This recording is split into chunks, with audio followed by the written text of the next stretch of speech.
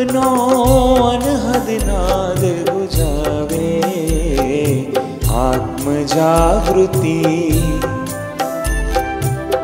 ઓમ અલખનો અનહદ નાદ ગુજાવે. આત્મ જાગૃતિ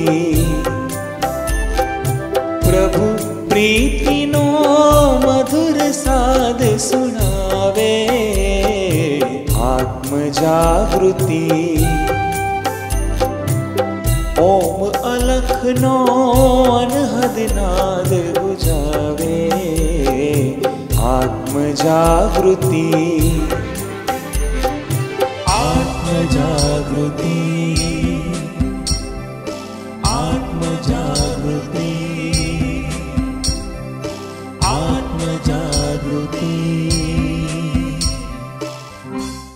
દર્શક મિત્રો, દર વખતે આપણે એક નવા જ વિષય સાથે ખૂબ જ સુંદર ચર્ચા કરીએ છીએ.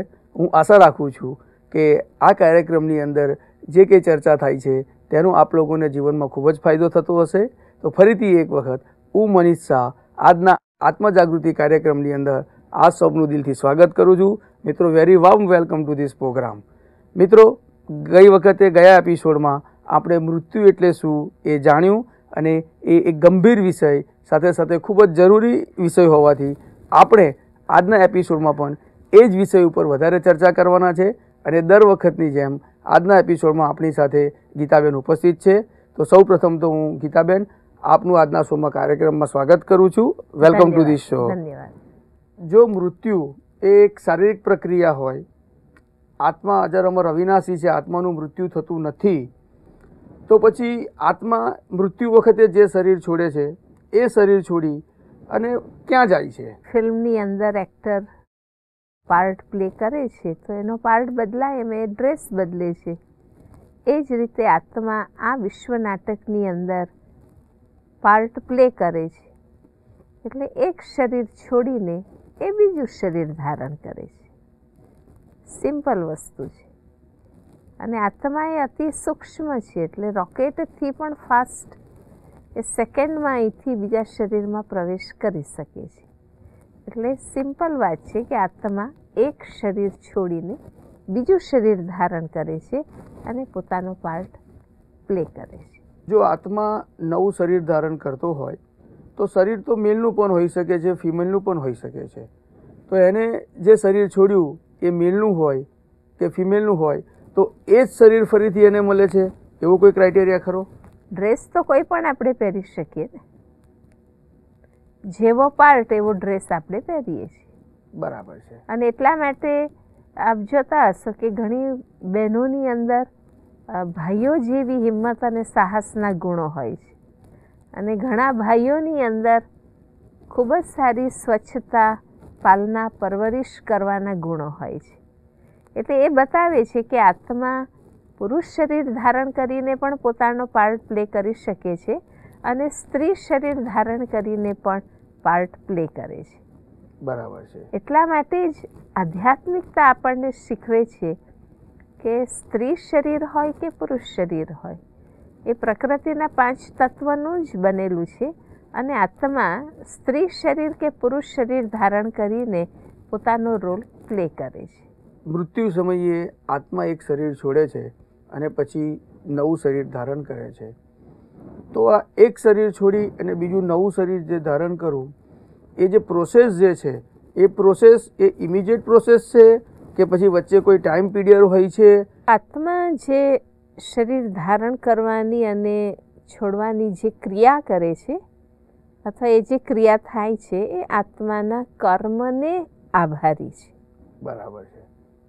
એટલે તમે જુઓ કે જેવું સોનું એવું ઘરેણું. જો સોનામાં આપણે બીજી ધાતુ મિક્સ કરીશું, તો એમાંથી જે ઘરેણું બનશે એ પણ મિક્સ ધાતુનું જ બનશે. જેવું બીજ એવું વૃક્ષ આપણે કહીએ છીએ. જો બીજ ક્વોલિટી નહીં હોય તો વૃક્ષ પણ ક્વોલિટી નહીં ઉગે. એ જ રીતે શરીર એ આત્માના કર્મને આભારી છે. એટલા માટે આત્મા કર્મિક એકાઉન્ટને આધારે શરીર ધારણ કરે છે અને એ એકાઉન્ટ પૂરો થાય એટલે શરીર છોડી દે છે.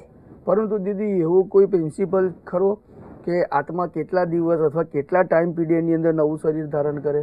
ના એ દરેકના પોતાના કર્મિક એકાઉન્ટ ઉપર છે.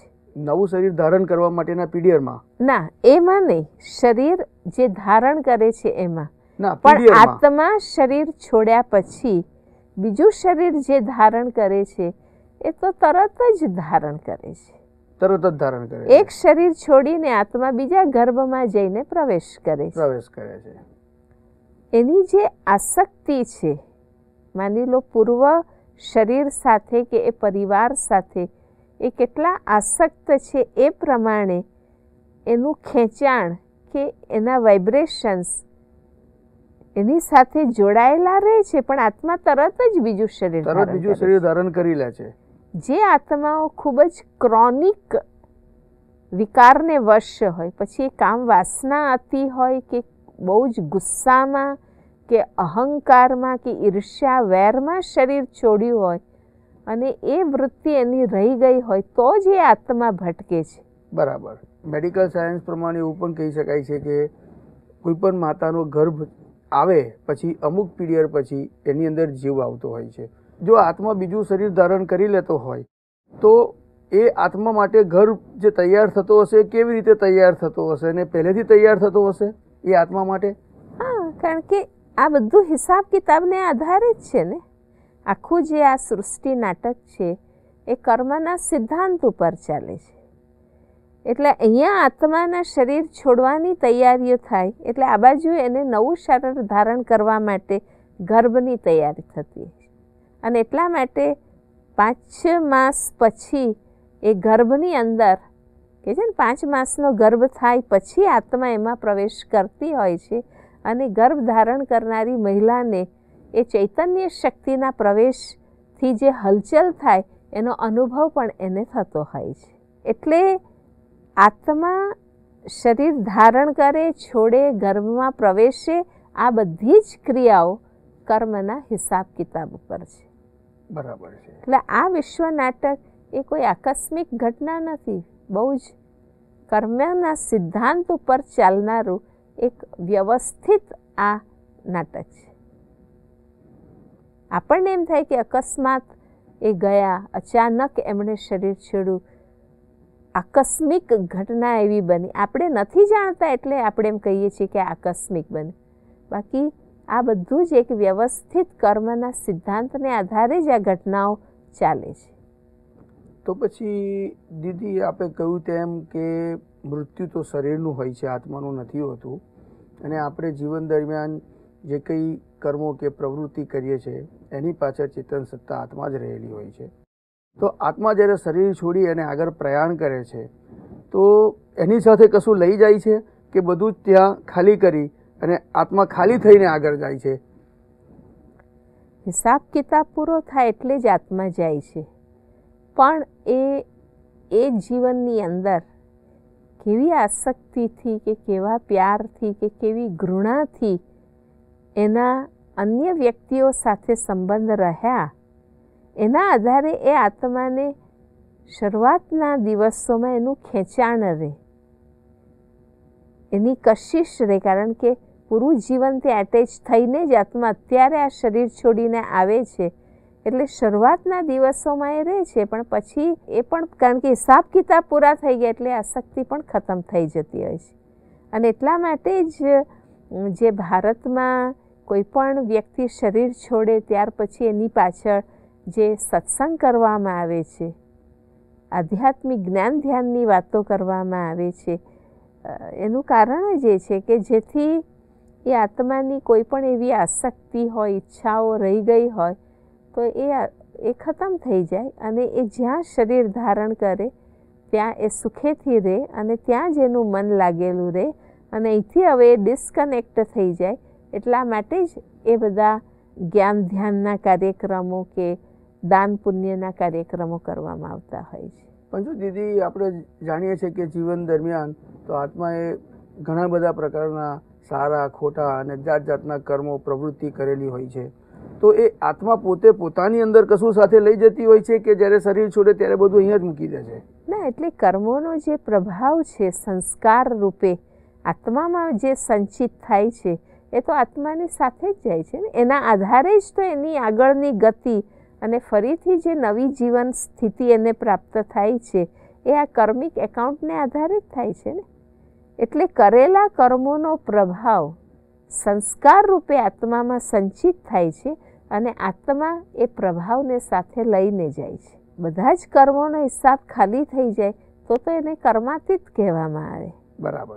તો એ આત્મા પાછી પરમધામ જતી રહે કારણ કે એનો હિસાબ આ દુનિયાથી હવે સમાપ્ત થઈ ગયો છે. પણ એવી કર્માતીત સ્થિતિ આત્મા પોતાની રીતે પ્રાપ્ત નથી કરી શકતી.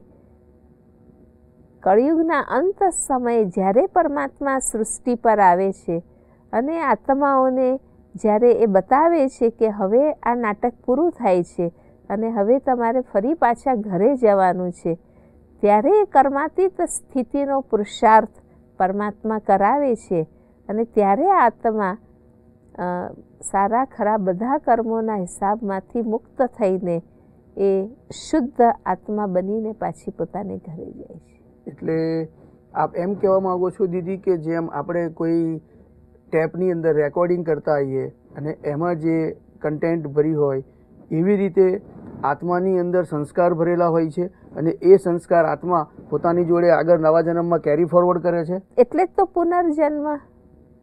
ની જે આખી કહાની છે એનું કારણ જ એ છે ને કે આપણે એ હિસાબ કિતાબનો જે માઇનસ પ્લસ થયો એ એને કેરી ફોરવર્ડ કરીએ છીએ.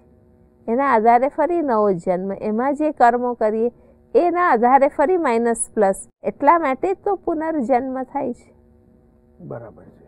વરના આ જન્મમાં કરેલા બધા કર્મોના ફળ એવું નથી કે આપણે અત્યારે જ ભોગવી લઈએ છીએ. ઘણી વખત આપણે કરીએ છીએ કે આખી જિંદગી કેટલું ખરાબ એણે કર્યું.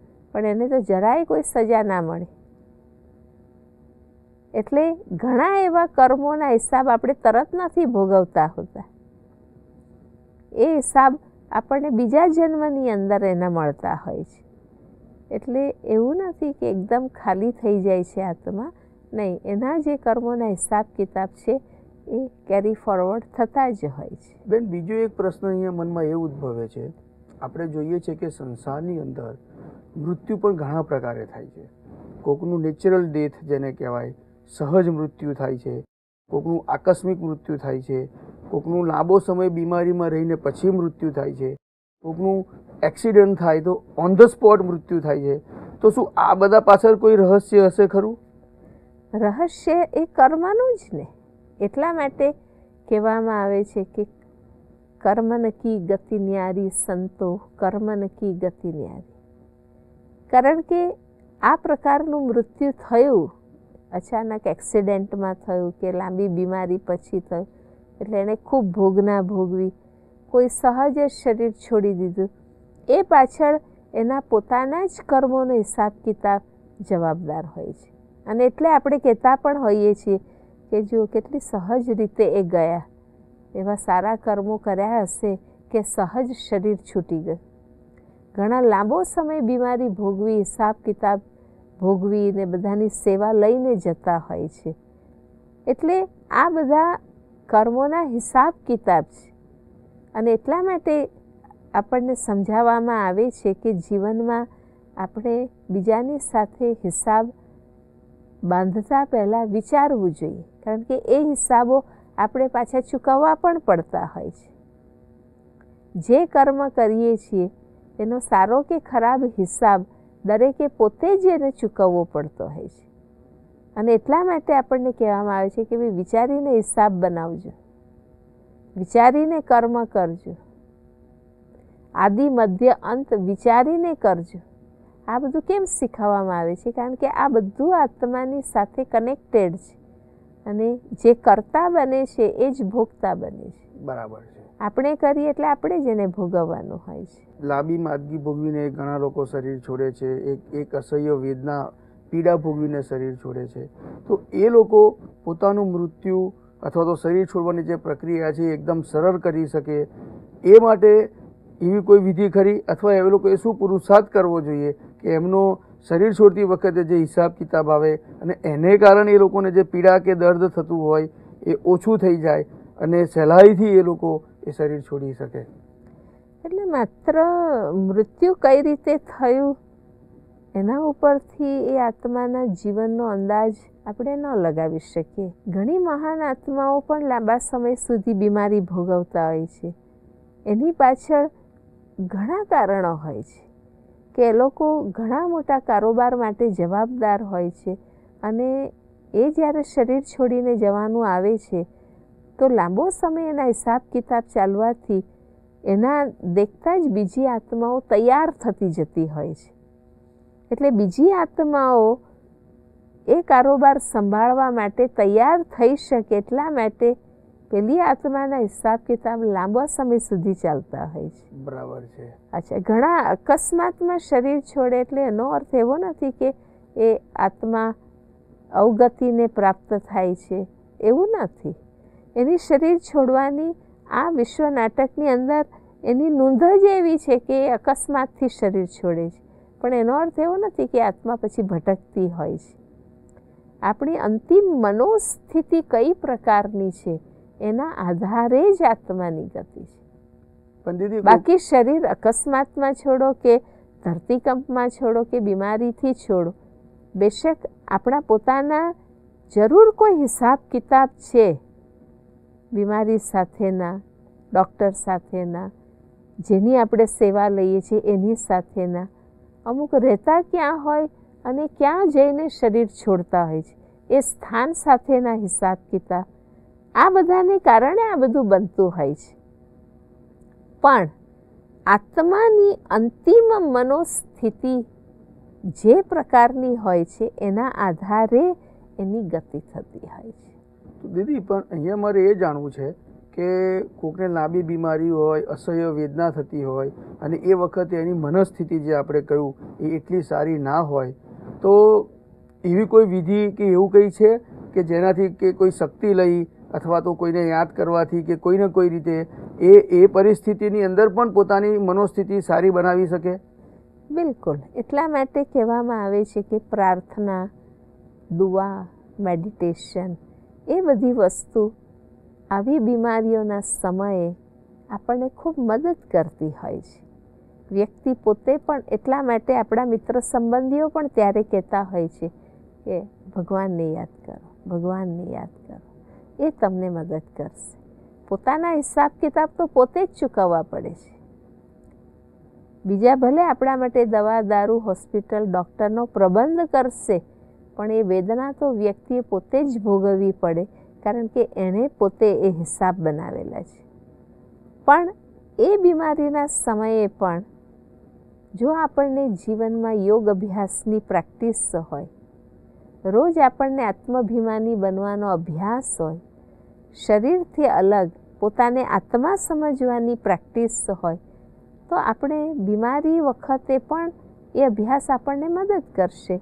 કે આપણે બોડીથી ડિટેચ રહી શકીશું, જેને કારણે એ બીમારીની જે ભોગના છે, એની મહેસૂસતા આપણને ઓછી થશે. અહીંયા મને એક પ્રશ્ન પૂછવાનું જરૂર મન થશે. શાસ્ત્રોમાં અને ઘણી બધી જગ્યાએ એવો કંઈક ઉલ્લેખ આવે છે કે તમે જ્યારે શરીર છોડો છો, તે વખતે તમારી જે મનસ્થિતિ હોય છે, એનો તમારી આત્મા જે નવો જન્મ લે છે, એની સાથે કંઈક ને કંઈક સંબંધ હોય છે. તો શું આ વાત સાચી છે, આમાં કઈ તથ્ય છે? વાસ્તવમાં તો એવું હોય છે કે આત્મા જ્યારે શરીર છોડે છે ત્યાં એ ઘડીઓમાં એને જીવનભર કરેલા કર્મોના હિસાબ સામે આવતા હોય છે.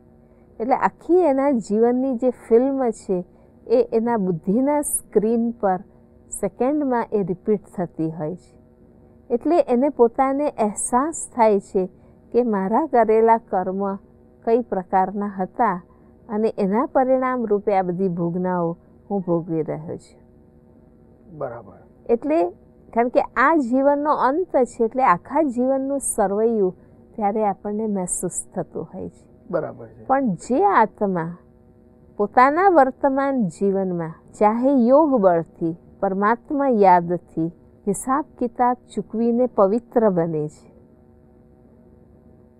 અથવા જે આત્માઓ જીવનભર અનાસક્ત કર્મયોગી બનીને જીવન જીવે છે અને પોતાના હિસાબ નવા બનાવતા પણ નથી અને બનેલા હિસાબને પરમાત્મા યાદ દ્વારા ચૂકવે છે.